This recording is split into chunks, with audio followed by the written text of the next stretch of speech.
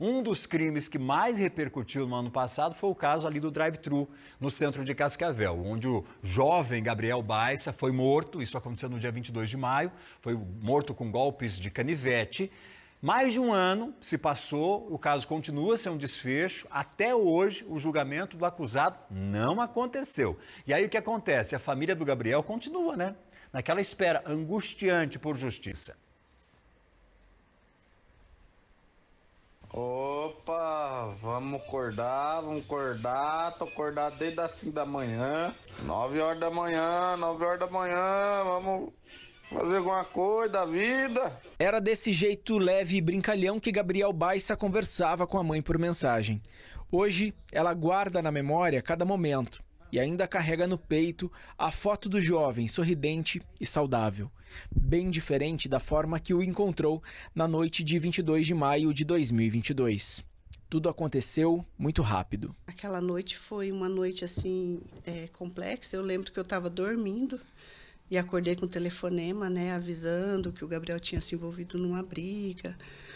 E aí eu corri para o hospital na esperança, sem saber o que tinha acontecido, né? Porque eu não olhei rede social, não olhei nada, na esperança de trazer ele de volta, né? Era só isso que eu pensava. E o que me vem na memória é eu saindo do HU com um saco de roupa dele, né? É isso que vem à memória, assim, eu voltando para casa com um pacote de roupa. Adriana estava grávida de sete meses do caçula quando o crime aconteceu. O pequeno Davi não chegou a conhecer o irmão mais velho. Essa foi a última foto deles juntos, no Dia das Mães do ano passado. Já esta montagem, com os três filhos, foi feita para tentar amenizar um pouco da saudade. Todos os dias a gente sofre, todos os dias, todo almoço em família, né? Eu vejo o crescimento do Davi, eu só penso nele. Como que seria ele aqui com a gente, né? É, a minha filha agora vai se formar também, então é um momento difícil. Ela não queria fazer formatura porque ela sonhava em dançar com o irmão. A dança da formatura. Então, assim, cada dia a gente sofre mais. Sofre mais com a impunidade, com a injustiça, com tudo que aconteceu, né? O caso ocorreu em uma fila do drive-thru de uma rede de fast food no centro de Cascavel. Após um desentendimento, Gabriel foi esfaqueado no local.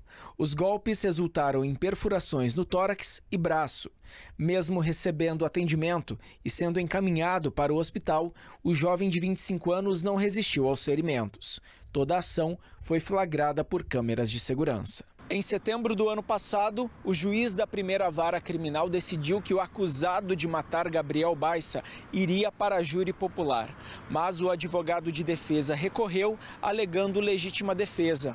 Desde então, o processo caminha a passos bem lentos. Adnei Rota se apresentou à polícia três semanas após o crime.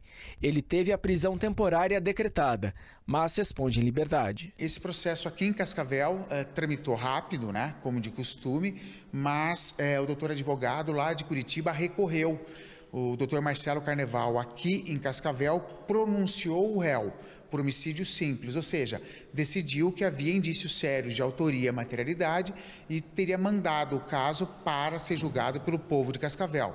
No entanto, o doutor advogado recorreu ao Tribunal de Justiça do Paraná e ainda não há resposta dos desembargadores. O processo está parado há quase um ano em Curitiba, aguardando o julgamento por parte dos desembargadores. Mesmo diante de tantas provas, é difícil aceitar que, além da ausência de quem não volta mais, a impunidade esteja prevalecendo. É muito difícil para nós, né?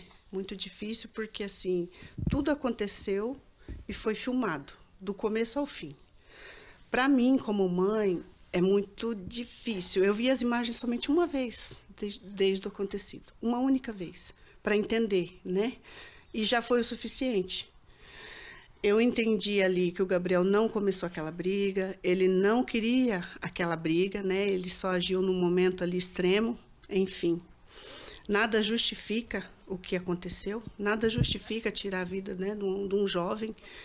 Para nós, família, com tudo isso, com todo esse arquivo, é muito doloroso. É muito doloroso saber que tem como provar que, que ele não teve culpa, né?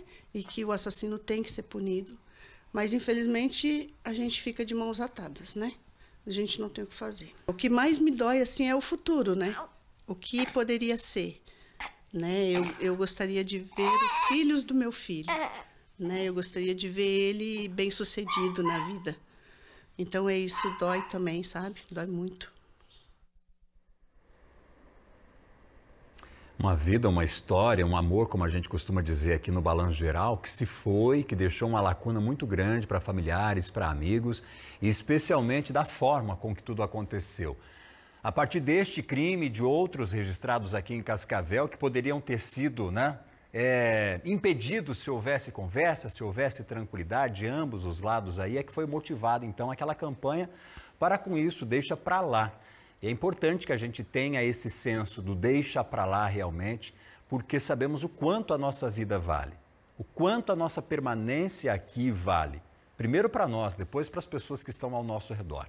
Se você se encontrar numa situação conflituosa, como a, a do Gabriel e de outros que nós já registramos, infelizmente, aqui, que terminaram com morte, tente pensar nas pessoas que precisam de você e que sentirão a sua falta para que você também não tome nenhuma atitude impensada, motivada apenas pela emoção.